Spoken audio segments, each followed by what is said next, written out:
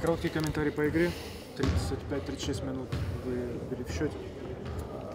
Что не получилось в конце? Не хватило концентрации. В первую очередь мы промазали свои э, мячи из-под кольца, не, не забили. Были хорошие проходы и вроде бы свободный бросок и не забили. Не забили. А Что касается самой игры, очень много мы пропустили с быстрого отрыва очков. И э, Запорожье играет так, э, в такой агрессивный баскетбол один на один. Не справились э, с их лидерами в игре один на один. Какой-то ключевой момент можете я не могу ключевой, я, я думаю, а мы не взяли два подбора, где наши мячи, наши мячи были. То есть вот эти моменты, которые мы должны э, были забирать у себя дома, показать характер, забрать мяч, отскочивший от кольца, мы должны были взять.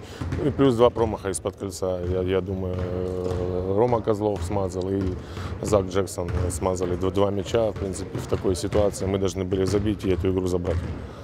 Первая домашняя игра. Э, Впечатления отличные. Спасибо большое болельщикам, что пришли и поддерживали нас. К сожалению, мы, э, мы сегодня не смогли их порадовать победой, но я думаю, что мы боролись и э, благодаря болельщикам мы 35 минут ве- вели в счете. Я надеюсь, что болельщиков будет с каждым днем больше. И мы будем стараться, обещаю, что э, каждую игру мы будем биться до, до последнего.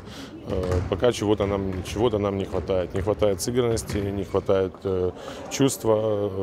Все-таки мы команда новая, чистого листа. Ну, и опять же, это не какие-то отговорки. Э, ну, так сегодня получилось, э, что проиграли.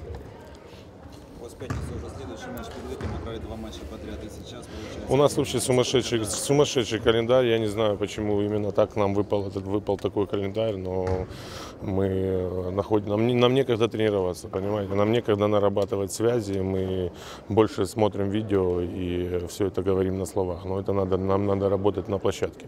Но в таком темпе мы, мы не можем ни нагрузить игроков, ни нормально по, по- по- поработать.